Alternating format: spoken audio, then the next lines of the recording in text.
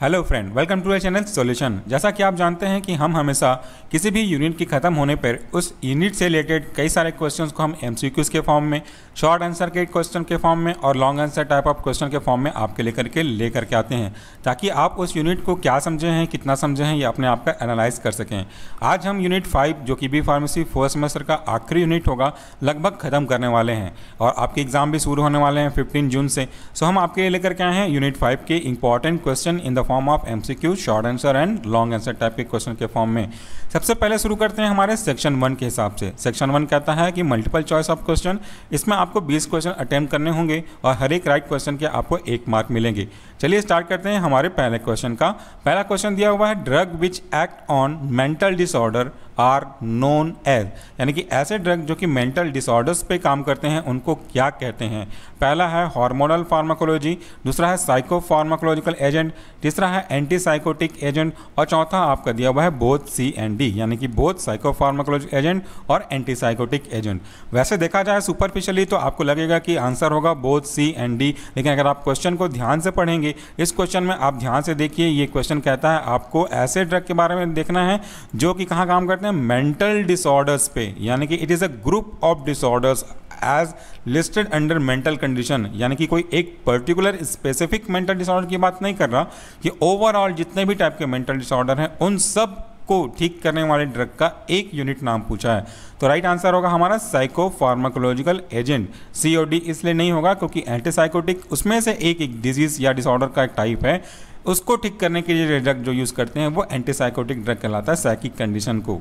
उसके बाद जो हमारा सेकेंड क्वेश्चन है, वो ये कहता है which is the target for antipsychotic agent इनमें से कौन सा एक्टिव साइट है जहाँ पे हमारे एंटीसाइकोटिक ड्रग एक्ट करके अपना एक्शन शो करते हैं? Option number one, synthesis of neurotransmitter.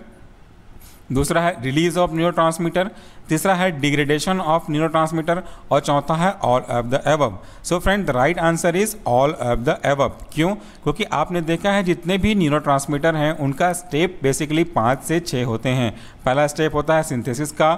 दूसरा होता है आपके रिलीज़ का, तीसरा होता है उसके बाइंडिंग होने का, चौथा होता है उसके एक्टिविटी शो करने का पोस्टिक पे, और पांचवा उसका डिग्रेडेशन और छठवां हो सकता है उसका रिस्टोरेशन हो। तो ये पाँच छह स्टेप होते हैं बेसिकली न्यूरो के एक्ट करने का। हमारे जितने भी एंटीसाइकोटिक ड्रग हैं साइकोफार्माकोलॉजिकल एजेंट हैं स्पेसिफिक अगर आप पूरी कैटेगरी की बात करते हैं तो इन्हीं स्टेप्स में से किसी न किसी को वो अल्टर करके अपना एक्शन शो करते हैं। चलिए इसी को हम आपको एक डायग्राम के थ्रू समझाते हैं कि ये आंसर क्यों होगा। अभी आप जो डायग्राम देख रहे हैं, वैसे है तो एक कोइनर्जिक सिस्टम का, लेकिन ये कोइनर्जिक सिस्टम ही एक एग्जांपल है आपके एंटीसाइकोटिक ड्रग को और उनके मैकेनिज्म को समझने के लिए। तो यहाँ पे आप देख लीजिए, ये है हमारा प्री सनेप्टिक नर्व जिसी के अंदर से हमारे न्यू ट्रांसमीटर सिक्रीट होने वाले हैं। तो जब कभी भी किसी भी एक्शन की स्टार्ट होगी एक्शन पोटेंशियल से स्टार्ट होगा तो या उसके पहले ही दोनों कंडीशन में हमारे जो न्यूरो हैं, वो सिंथेसिस हो चुके हैं। तो इसको हम अपन सिंथेसिस मान लेते हैं। ये फ़र्स्ट स्टेप है सिंथेसिस का। दूसरा स्टेप उनके वेसिकल में जाने के, जा, देख रहे देख सकते हैं आप। उसके बाद इनका रिलीज़ होगा। रिलीज़ होने के बाद ये अपने रेस्पेक्टिव रिसेप्टार पर बाइंड होंगे और एक्शन शो करेंगे। कुछ देर बाद जितने भी ऐसे ड्रग होंगे उनके सिनेप्स पे, यानी कि दोनों के जंक्शन के बीच में जैसे एसिटाइल कोलिनस्ट्रेस अगर आप एस्टाइल कोलिन की बात करते हैं तो एस्टाइल कोलिन एक ऐसा एंजाइम है जो एसिटाइल कोलिन को ब्रेक कर देता है वापस उनके रेस्पेक्टिव पार्ट में that is acetate plus choline में। तो ये उनके पूरे स्टेप में कहीं ना कहीं अफेक्ट करता है। तो ऐसे ड्रग जो कि साइकोफार्मिकल एजेंट पर काम कर रहे होंगे, या तो वो उनके ये जो एस्टाइल कोलिन है, इनकी एक्टिविटी को इनिबिट कर देंगे, जिसकी वजह से एस्टाइल कोलिन अपना काम नहीं कर पाएगा और जो मेटाबॉलिज्म हो रहा है न्यूरो की, वो कम हो जाएगी। इनडायरेक्टली या यूँ कहिए इसको कि इसके कारण से एस्टाइल कोलिंग की जो अवेलेबिलिटी है, वो आपके पोस्ट सिनेप्टिक सेप्टार पे बढ़ जाएगी। इस तरह से हमारे जो ड्रग हैं, वो इन पूरे के पूरे स्टेप में से काम कर सकते हैं। तो हमारा राइट आंसर होगा ऑल ऑफ़ द एवब अगला क्वेश्चन देख लेते हैं। अगला क्वेश्चन पूछता है which of the following is selective serotonin reuptake inhibitor यहाँ पे देखिए, कौन सा ड्रग है जो सेलेक्टिव सीरोटोनिन रिएप्टेक इनिबिटर है? सेलेक्टिव सीरोटोनिन रिएप्टेक इनिबिटर्स जो कि बेसिकली एंटी डिप्रेशन कैटेगरी के ड्रग हैं तो उनके नाम पूछा है। ऑप्शन दिए हुए हैं selegiline diazepam lorazepam all of the above सबसे पहली चीज़ तो यहाँ पे डायजापाम और लोराजोपाम ये आप देख सकते हैं, ये एनजाइटी के लिए ज़रूर ठीक किए जाते हैं, लेकिन ये सीरोटोनिन का इनका लेना देना नहीं है, ये गाबा रिसेप्टार पे काम करते हैं। और और ये जो सेलिजनिन है, ये हमारे मोनोअमीन के एग्ज़ाम्पल में से हैं और ये इनके रिएप्टेक को इनिबिट करते हैं। तो ऑल ऑफ़ द वब तो होगा नहीं। हमारा राइट आंसर है सेलिजनिन और ये जो सेलिजनिन है, ये एग्ज़ाम्पल है हमारा सेलेक्टिव सीरोटोनिन रिएप्टेक इनिबिटर जिसको शॉर्ट में एस एस आर आई के नाम से जानते हैं। अगला क्वेश्चन पूछते हैं find the neurotransmitter listed under monoamine monoamine के अंदर कौन कौन से न्यूरोट्रांसमीटर को रखा गया है? या जनरली हम इस चीज़ के बारे में बात करते हैं। अगर हम बात कर रहे होते हैं साइकोफार्माकोलॉजिकल एजेंट के बारे में ऑप्शन दिया है डोपामीन सीरोटोनिन नॉन एपिनेफ्रिन इस नॉन एपिनेफ्रिन का दूसरा नाम नॉर एड्रीनलिन भी होता है तो ये चीज़ ध्यान रखिएगा। और ऑप्शन फोर दिया हुआ है ऑल ऑफ़ द एवब तो हमने देखा कि मोनोअमीन जिसके अंदर हमने पहले बताया कि डोपामीन भी आएगा सीरोटोनिन भी आएगा, और नॉन एपिनेफ्रिन भी आएँगे। तो यहाँ पे पर्टिकुलरली आंसर होगा D all of the above अगला क्वेश्चन पूछते हैं monoamine are responsible for monoamine जिसे अभी आपने देखा, डोपामिन, सेरोटोनिन नॉन एपिनेफ्रिन ये बेसिकली किस चीज़ के लिए रिस्पॉन्सिबल होते हैं? ऑप्शन दिया हुआ है memory and joyfulness body balance neuro generation और आखिरी दिया है नन ऑफ़ द एवब तो राइट आंसर है हमारा मेमोरी और जॉयफुलनेस क्योंकि न्यूरो ट्रांसमीटर के केस में अगर आपने देखा है तो जितने भी सेंट्रल नर्वस सिस्टम से जुड़े साइकोफार्म एजेंट हैं और वो जिन, जिनको ठीक करने में यूज़ किए जाते हैं, उनका बेसिक रोल तो यही रहता है कि कैसे भी करके मेंटल कंडीशन को रिस्टोर किया जाए कग्निशन को रिस्टोर किया जाए। तो उसके अंदर अगर स्पेसिफिकली बात करते हैं मोनोमिन की तो these are responsible for memory and joyfulness इनकी कमी की वजह से डिप्रेशन होता है और अगर हम इन कमी को ठीक कर दें बैलेंस कर दें तो अपन डिप्रेशन को भी ठीक कर सकते हैं। और उसमें अपन बात करेंगे तो मेमोरी और जॉयफुलनेस आएगा ही। अगला क्वेश्चन है Parkinson is related with imbalance between ये बहुत ही इंपॉर्टेंट क्वेश्चन है कि पार्किंसन किसके किसके बीच के इम्बैलेंस के कारण से जनरेट होता है। यानी कि इटियोलॉजी ऑफ़ पार्किंसन क्या है? ऑप्शन दिया है डोपामिन एंड सीरोटोनिन दूसरा है डोपामिन एंड एस्टाइलकोलिन तीसरा दिया है एस्टाइलकोलिन एंड नॉरएपिनेफ्रिन चौथा दिया है सेरोटोनिन और एसिटाइलकोलिन हमारा राइट आंसर है डोपामिन और एसिटाइलकोलिन ये क्यों? क्योंकि आपको हमने ये डायग्राम दिखाया था इसके पहले जिस पे आप देख सकते हैं कि एटियोलॉजी ऑफ़ पार्किंसन डिज़ीज़ में जनरली अगर आप नॉर्मल कंडीशन में हैं तो क्या होता है? इनहिबिटरी डोपामिन और एक्साइटेटरी एस्टाइलकोलिन ये दोनों बराबर होते हैं, एक दूसरे को बैलेंस कर रहे होते हैं। इसीलिए dopamine is equal to acetylcholine अगर ये दोनों बराबर हैं तो वो नॉर्मल कंडीशन कहलाएगा। लेकिन अगर किसी को पार्किंसोनिज्म की प्रॉब्लम होती है तो वहाँ पर आप देख पाएँगे कि डोपामिन का जो लेवल है हमारे ब्रेन में सबसीना नागरा में, वो एज कंपेयर टू एस्टाइलकोलिन कम हो जाता है। इसके पीछे का लॉजिक भी यही है कि आपने देखा कि इतने भी नर्व हैं जो कि एस्टाइलकोलिन के रिस्पॉन्सिबल होते हैं, वो कंट्रोल होते हैं डोपामिन के द्वारा। लेकिन इस कंडीशन में, यानी कि पार्किंसन के डिज़ीज़ की कंडीशन में डोपामिनर्जिक न्यूरोट्रांसमीटर की कमी हो जाती है just because of death of dopaminergic neuron और इसी कारण से इम्बैलेंस हो जाता है। तो हमारा राइट आंसर है इनिबिटी डोपामिन और एस्टाइलकोलिन जो कि एक्साइटेटरी है। इन दोनों के बीच में इम्बैलेंस की वजह से। तो राइट आंसर है हमारा बी डोपामिन एंड एसिटाइलकोलिन अगला क्वेश्चन है administration of the following will be effective in the treatment of Parkinson इनमें से कौन सा एडमिनिस्ट्रेशन पार्किंसन के केस में यूजफुल होगा? Dopamine levodopa, carbidopa both B and C यानी कि लिवोडोपा और कार्बिडोपा। फ्रेंड अभी आपने देखा कि डोपामिन की कमी की वजह से पार्किंसन भले ही होता है, लेकिन हम एज सच डोपामिन को उसी के डोपामिन के फॉर्म में एडमिशन नहीं कर सकते, क्योंकि ये ब्लड ब्रेन बैरियर को क्रॉस नहीं करता और इसलिए ये यूजफुल नहीं होगा। तो हम क्या करते हैं इन केस पार्किंसन डोपामिन की कमी को पूरा करने के लिए उनका प्रिकर्सर देते हैं लिवोडोपा, और लिवोडोपा का मेटाबॉलिज्म पेरीफेरे जीआईटी और आपके गट में कम हो सके इसके लिए साथ में देते हैं कार्बिडोपा। तो मिला कर दिया हमने लिवोडोपा और कार्बिडोपा। तो right answer is both C levodopa and carbidopa, जिसके एग्ज़ाम्पल हमने पहले ही बताए हैं। यहाँ पे आप देख सकते हैं डोपामिन की कमी वाले को। इन दोनों को हमको बैलेंस करके देना होता है। चलिए अब हम बात करते हैं अगले क्वेश्चन की। That is question number eight Alzheimer disease is associated with Alzheimer disease किसके कारण से या किससे किससे एसोसिएट होता है? ऑप्शन दिया हुआ है लॉस ऑफ़ मेमोरी बी है न्यूरो डिजेनरेशन सी है एजिंग और चौथा कहता है ऑल ऑफ़ द एवब देखिए, सबसे पहले तो कंडीशन को वन को समझ लें लॉस ऑफ़ मेमोरी मतलब ये उसका सिम्टम बता रहा है, जहाँ पे अगर कोई पर्टिकुलर पर्सन को एल्जाइमर की प्रॉब्लम होती है तो उसके धीरे धीरे मेमोरी लॉस होने लग जाती है. और जो न्यूरो डिजेनरेशन है, इसका मेन एजियोलॉजी है कि उस पर्टिकुलर सेल की, जिसके कारण से हमारे पार्किसन डिज़ीज़ एसोसिएटेड होते हैं, खास करके कोइलर्जिक नर्व उनका डिग्रेडेशन होना स्टार्ट हो जाता है. और ये जो प्रॉब्लम है, वो दिखता है एजिंग में. सो ये जो ऊपर के तीनों ऑप्शन हैं ए बी सी तीनों सही हैं तो हमारा राइट आंसर दिया होगा क्या? ऑब्वियसली चौथा option all of the above friend आज के जो एम है, उसमें हमने मैक्सिमम से मैक्सिमम आंसर सही वाले रखे हुए हैं ऑल ऑफ़ द एवब में. इसके पीछे का रीज़न ये है कि जब आप पढ़ेंगे और आंसर देखेंगे ऑल ऑफ़ द एवब तो आपको जितने ऑप्शन सही हैं ऑटोमेटिकली याद हो जाएँगे. तो आगे कभी भी एग्ज़ाम में अगर आपको वो ऑप्शन मिलते हैं तो आपका जो कॉन्सेप्ट है, वो क्लियर रहेगा. अगला क्वेश्चन है depression and mania in combination is called question कह रहा है? अगर किसी पर्टिकुलर पर्सन को डिप्रेशन है, यानी कि उसके मूड में सोलोनेस है सैडनेस है, और साथ ही साथ उसको मानिया है, यानी कि ओवर एक्साइटमेंट या ओवर एंथुजियाज्म है तो इन दोनों के कॉम्बिनेशन को या यू कह लीजिए कि साइक्लिक एपिसोडिक कंडीशन को हम क्या कहते हैं? ऑप्शन दिया हुआ है मोनोपोलर डिसऑर्डर ऑप्शन बी है बाइपोलर डिसऑर्डर ऑप्शन सी है एंजाइटी और ऑप्शन डी है ऑब्सेसिव कंपल्सिव डिसऑर्डर फ्रेंड्स सबसे पहले तो हमारा लॉजिक कहता है कि गलत आंसर को हटा दें। तो अगर आपको पूछ रहा है डिप्रेशन भी है और मानिया भी है, यानी कि दो कंडीशन है। दो कंडीशन है, तब तो मोनोपोलर डिसऑर्डर होगा ही नहीं, क्योंकि दो का मतलब बाई सही होगा।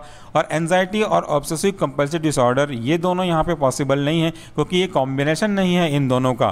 तो हमारा पास बचता है एक ही answer that is bipolar disorder so इस क्वेश्चन का सही आंसर है बाईपोलर डिसऑर्डर अगला क्वेश्चन है mechanism of action for anti anxiety drug is based on जितने भी एंटी एंजाइटी ड्रग हैं, जितने भी कैटेगरी के एंटी एंजाइटी ड्रग हैं, उनमें से मैक्सिमम का जो मैकेनिज्म ऑप्शन है, वो किस पे बेस्ड होता है? ऑप्शन दिया हुआ है GABA mediated receptor obviously the anti anxiety drug are work या they act on GABA mediated receptor चाहे वो बेंजोडाइजेपिन हो, चाहे बारबुचरेट रिसेप्टार हो। और जब ये दोनों अपने रिसेप्टार पे बाइंड होंगे गाबा के तो वो डेफिनेटली क्लोराइड चैनल की ओपनिंग टाइम को इंक्रीज करेंगे। और जब क्लोराइड चैनल का ओपनिंग टाइम इंक्रीज होगा तो इसकी वजह से हाइपर पोलराइजेशन होगा, क्योंकि नेगेटिव चार्ज वाले क्लोराइड आयन ज़्यादा अंदर आएँगे। या यूँ के लीजिए टोटल इसको समझ करके ये लगता है कि आंसर होगा all of the above so the right answer is all of the above for the above question अगला क्वेश्चन है which of the following is not a mechanism of action of anti depression drug यहाँ पे ध्यान दीजिए, कौन सा नहीं है एंटी एंटी डिप्रेशन ड्रग का मैकेनिज्म ऑफ़ एक्शन पहला ऑप्शन दिया हुआ है सेलेक्टिव सीरोटोनिन रीअपटेक इनिबिटर जिसे को हम बोलते हैं S S R I obviously ये तो है। दूसरा है M A O inhibitor that is monoamine oxidase inhibitor ये भी है। तीसरा पूछता है M O A M O ए का क्या पूरा नाम होगा? ये कोई कोई कंफर्मेशन नहीं है। मोनोअमीन ऑक्सीडेस होना चाहिए, लेकिन यहाँ पे ऑलरेडी एम ए ओ पूछा जा चुका है। यानी कि ये कुछ भी उड़पटांग टाइप का ऑप्शन है। तो यही ऑप्शन हमारा गलत होगा, क्योंकि क्वेश्चन पूछा है नॉट जबकि आखिरी ऑप्शन भी देखना चाहें तो serotonin non epinephrine reuptake inhibitor ये तो है ही। तो राइट आंसर यहाँ पे क्या होगा?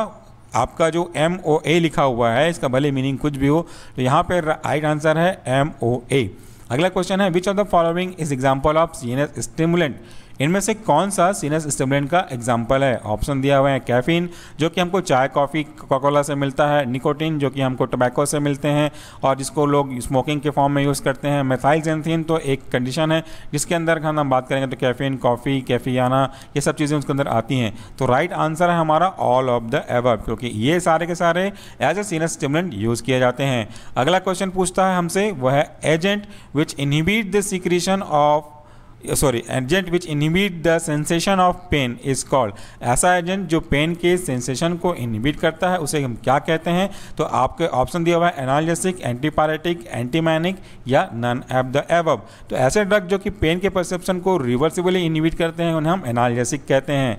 अब अगला क्वेश्चन आते हैं which of the following is an example for drug addiction इनमें से कौन सा एग्ज़ाम्पल ड्रग एडिक्शन का हो सकता है? ऑप्शन दिया है कोकेन मैरिजुआना ओपियम इनमें से सारे के सारे ड्रग ऐसे हैं जो सेंट्रल नर्वस सिस्टम को किसी न किसी तरीके से अफेक्ट करते हैं, चाहे कोग्निशन को, चाहे पेन को या फिर यूफोरिया कॉज करते हैं और जो ड्रग मैक्सिमम सेनस पे काम करते हैं, उनकी पॉसिबिलिटीज़ होती है कि वो ड्रग एडिक्ट कॉज कर सकें। तो right right answer is all at the above अगला क्वेश्चन है which of the following may be a common example for drug abuse drug abuse के बारे में हमने वीडियो अपलोड किया है और आगे भी अपलोड करेंगे।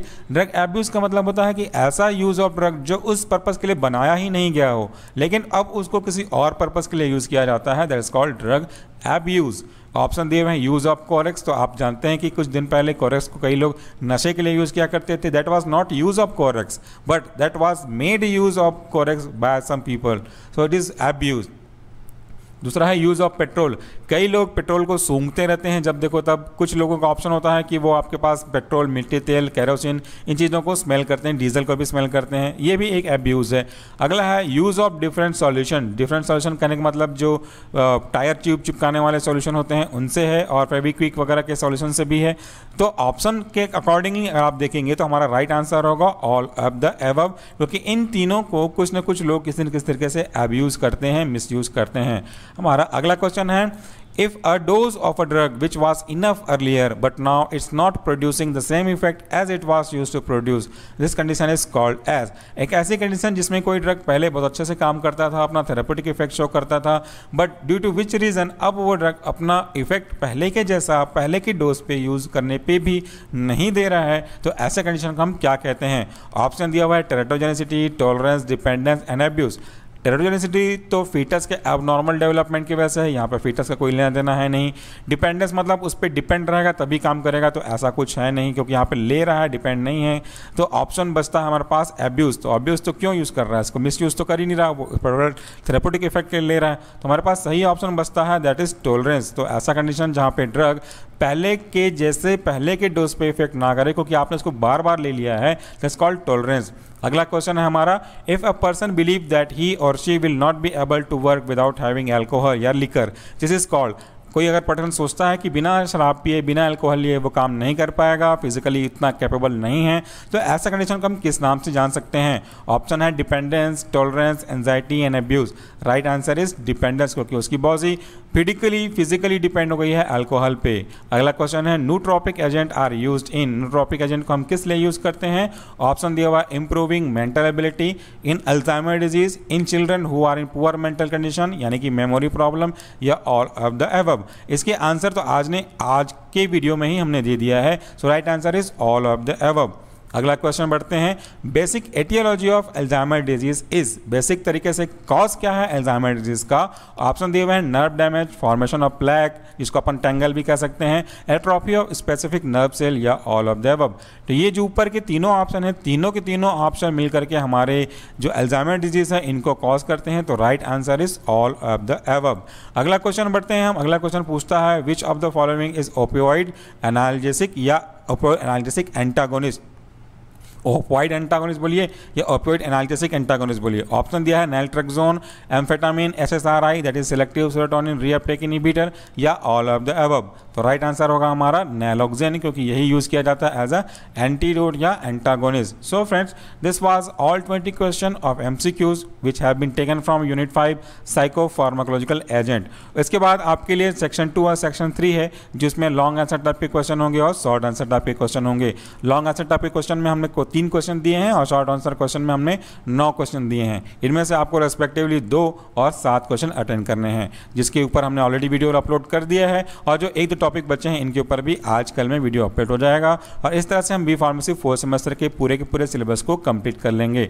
हमारे यहाँ कई जगह सी एस में और, और भी एग्ज़ाम में पंद्रह जून से एग्ज़ाम शुरू होने वाले हैं तो हमने सोशल फार्मेसी ने एग्ज़ाम शुरू होने के पहले ही जिस हिसाब से हमने स्टार्ट किया था यहीं के अकॉर्डिंगली तो यहीं के अकॉर्डिंग अब हम अपने सिलेबस को कंप्लीट करने वाले हैं। Thank you very much for watching this video please stay connected with social pharmacy अगर आपको कोई सजेशन है या कोई इंप्रूवमेंट है तो प्लीज़ हमें कमेंट करिएगा। Thank you wish you all the best for your upcoming exam